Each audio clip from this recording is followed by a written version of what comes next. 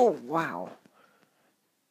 Welcome to Teller Creations. In this video, we're going to be talking about my The Thing set. Uh, weirdly, I know I just did a uh, video about The Thing because I had a German set come in, so uh, there's a bigger video on that which details everything I got in that set. But this is, I want to talk about all three versions of the film that I currently own, starting, of course, with the classic The Thing from Another World. This is the Warner uh, Bros. Archive collection version, the Howard Hawks production, the literally titled The Thing from Another World. Uh, how do I even detail this film? Pretty much, uh, Air Force people are in Alaska. Uh, they get a call that there is something going on at the laboratory facility a bit further up north in the more Antarctic uh, area, whatever Arctic area. Arctic, obviously, Antarctic is below. And so they go to check it out because they hear that some kind of a plane crash of some kind of detail. They meet everyone there. A lot of cast, a lot of crew. Oh, look, our, our main character here, who's at the airport, uh, F, F, F cadet dude, seems to, who's in control of a lot of the people there, seems to have had some kind of a romance with this girl that didn't really work out. But maybe, hey, maybe that means things can happen again. Sparks are flying here. But hey, look, Mr. Scientist Man says we gotta go check this thingy out. So they go for a ride in a helicopter. They find a big disc that they all stand in a circle around. They're like, hot diggity daffodil, look at this thing, it's big. Uh, let's now use thermites to melt the ice around it. Oops, look, we blew it up. But then, of course, they find a body, you know, frozen in the ice. Something that might be humanoid, but they can't really tell.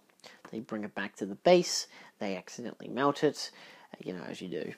And it turns out to be a big humanoid plant creature thingy that attacks and kills. Now, of course, standard approach, a lot of talking, a lot of quick talking. Like, these people will literally talk and literally talk over each other. Like, one person will talk, they won't even get to the end of their sentence before someone else says, hey, but then with this, and it just keeps on going. And it's like, oh my god, I get it. There's a lot of people talking right now. This is crazy. It's a classic Howard Hawks film. A lot of a lot of that kind of fast firing dialogue, hippity hoppity. They're going for it like crazy. You think I talk fast? These people talk faster. 87 minutes, baby. You gotta get it in there. So a lot of the time is spent with the characters, especially the dichotomy between the Air Force, who like to keep things more secret and down low. Uh, you've got your newsman who wants to like broadcast this all out and whatever, get permission to tell the world that UFOs are real, aliens are real and this scientist who wants to study uh, the creature wants to make peace. But before you know it, the uh, creature starts killing, and it apparently uses human blood to regenerate itself. And they, you know, take a sample. They end up lobbing off one of its arms. More or less, the the, the, the wolves outside do it. The uh, snow wolves. I don't know what they call it. Um, but they have a bunch of you know snow sled dogs and whatever that tear they have a fight with it. They get its arm. They realize it's part of it is like a plant and it can move autonomously. And so it just kind of expels from there. From we got to stop and kill the creature to save the whole world. That can, well, at least to save themselves, especially because you know they're in the Arctic and whatever, and the bloody thing keeps turning off the heat and everything. It's a smart creature. It's big. It's tall. It's clearly a man in a big rubber suit, which is mostly fire retardant. So that's fun. They got to figure out a way to destroy it. All that kind of jazz. It's a fun film it definitely takes its time, but then one of the you know this the creature's only in a few scenes, and I don't really mind that because again it's your classic fifties kind of creature. It's just a dude in a suit. It's fine. So it's pretty fun. It's something different. It's something nice. You know, hey, look, it's a plant creature from another world, feeds on human blood, all that kind of stuff. We have to, you know, get the message out to watch the skies. UFOs are real. Aliens are gonna come and kill us all if we're not careful. And of course, given that most of the people watching this film are, uh, you know, gun-toting Americans, it makes sense. I know it's the 50s, but gun-toting Americans were still a thing then. And so, yeah, it's a fun little film. This is a cute little, you know, set that just comes of the film. I don't believe it has any special features. It's pretty much just watch the movie because that's what a lot of these um, archive collection ones are. I have a few of them. Uh, one's about those kids where they are all the same. What fuck was that movie called? the Village of the Damned, or whatever it is, you know, children. No, I think Children of the Damned is a sequel. Uh, Village of the Damned, the original. Um, I have one of those in this same kind of a set with the archive collection. It just comes with a film. It's a nice film print. Kind of, it's remastered enough. Obviously, for an old film, it still looks pretty good. So that's it's nice. So it's a nice little thing to have. Quick, eighty-seven minute long film all the fun stuff, and from Howard Hawks as well, who co he produced it, but also kind of kind of co-directed as well. Like it suggests that he was just a producer, but clearly, even though Christian Nyby is like the listed director, him and Hawks obviously have worked a lot together because Hawks is that kind of a dick, uh, very you know heavy-handed with how he did his films, and a lot of them are good films, but still. Let's of course move on to from 1951 to 1982. We have The Thing. This is, of course, the Arrow 4K remaster release of the John Carpenter classic.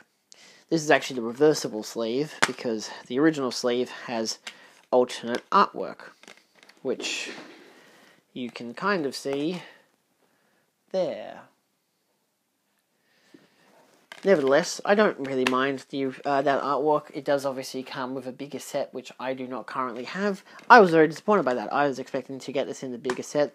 It did not come in the bigger set, probably because when I ordered this, I ordered it like a year or so after it had actually been re-released. In fact, I think I ordered this. Actually, no, I did order this a year after it had been released, so I only got this standard edition version, which is fine. It still comes with a reversible sleeve. I like it. It's nice of course, Arrow Video has done a steelbook version as well, the same artwork, but I figured because I already have reversible sleeve artwork, I don't really need to get that. And Scream Factory has also done a release, which I was meant to get as a steelbook, but the seller may have caught the COVID, so that, that kind of fell through. Uh, thanks, America. Um, anyway, that led me on to better things, which I will get to in a second. So, what what can I say about the thing? If you don't know what John Carpenter's the thing is, then you should watch it. It's really fucking good. But in the general sense, it's a bunch of people who are in the where are they again? Are they still in the Arctic or is it the Antarctic this time? I believe it's the Antarctic this time, and they, you know, they're uh, invaded by a uh, wolf again, who's been hunted by people in a helicopter, who then proceed to crash. They take care of the dog Dog turns out to be a shapeshifting alien. You know, just regular stuff that you find in Antarctic. And yada yada yada, they find a spaceship. Oh, look, we, we gotta kill this creature. He's fire, it's turning into people. So obviously, it's taken the original approach of the isolated base. In this case, not being a military base, just being a research outpost. And then, of course, you introduce something different a shape shifting alien and it's amazing. This is a beautiful remaster. I'd love to get a 4K UHD if that ever comes out, but the 4K remaster from the original negative is exceptional. And then, of course, I've got my big boy. Um, I also have the Thing t-shirt, which I'm not currently wearing right now, so I apologize for that. Pretty sure I already said that, but I can't remember. I did film this before and then realized the camera wasn't rolling, so I had to film it again. It's fun. In 2019, there was a release by Turbine. They made two sets, and this is one of them.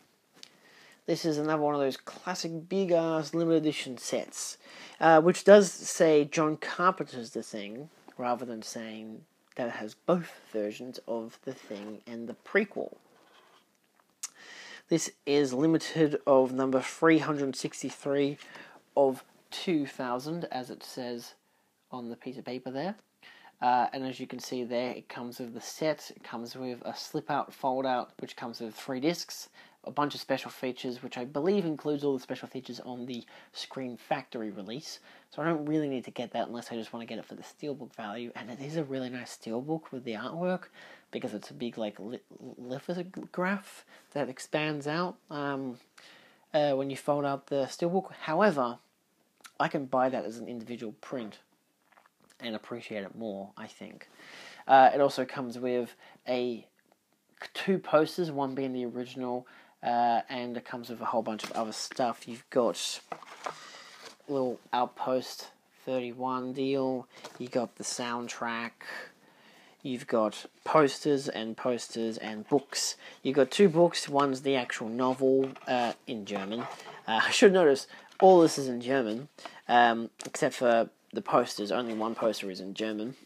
Uh, and then it has the original book that it was written on, the Who Goes There, in German, unfortunately, and it has an inside thing, which is a making of the thing and the prequel. Does come with the prequel on Blu-ray. I've only watched a pirated version of that film anyway, and I don't plan to watch it again anytime soon. But I did review it for my Mary Elizabeth Winstead review. Now I could go into more detail about this set right now, but I do have a whole entire video, so I'm not going to waste my time on doing that. If you want to check it out, there will be a video linked at the end of this video and in the description. Uh, so you can just skip to that if you want to for now, but I'm mostly going to talk about the prequel right now. Um, so the prequel is an interesting film. So again, like I had said, I thought that all three films were in some kind of chronology, a story. Obviously, that is incorrect. But the prequel is actually a film that takes place before the John Carpenter film, which makes sense because it's called a prequel, despite it being filmed 30 years later in maybe it's because it had been 30 years between each film and they were like hey let's make another thing film but it's like yeah but john carpenter's was so good it's like but we could do a prequel which explains what happens to the military base the norwegian base just before um, when they discover the thing and when they all get murdered brutally what happens? Maybe we could talk about that, give more of an explanation to the thing itself. And so they do. They introduced two American characters, uh, one played by Mary Elizabeth Winstead, one played by Joel Edgerton, who is Australian. And so, an Australian actor, but an Australian character, I don't believe.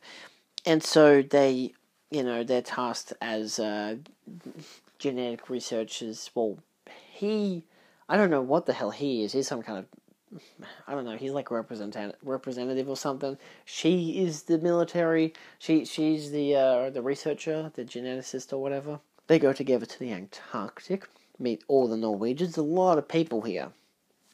At least twenty other dudes and maybe two different women. So it's uh, very similar to the original, uh, which is an interesting factor now that I've been able to think about that. And you know, same deal happens. They have found this. Uh, they find the spaceship. I don't remember how they find the spaceship.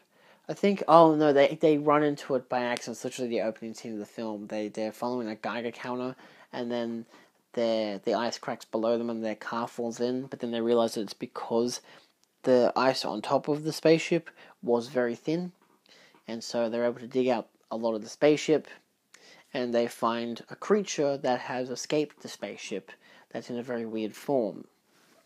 So they dig that out, they bring it back to the outpost, it slowly drips, and of course, the thing explodes through the roof and runs away.